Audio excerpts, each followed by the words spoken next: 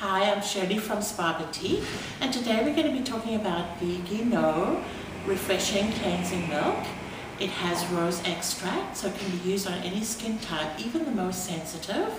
Uh, we apply it uh, morning and night to cleanse the skin. It will remove your makeup and then rinse off. So uh, if you're needing any more information about this product, please go to our website at www.spaboutique.ca. Thank you.